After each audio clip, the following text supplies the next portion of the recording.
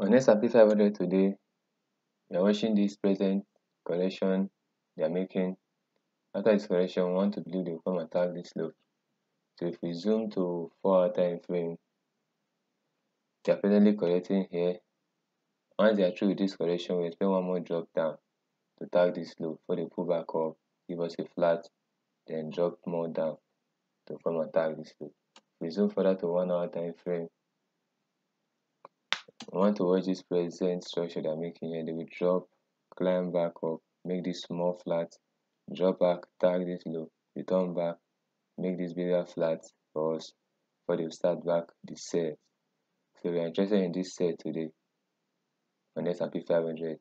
Once they complete this small flat, they'll give us a sell setup to tag this low. That's what we after for today.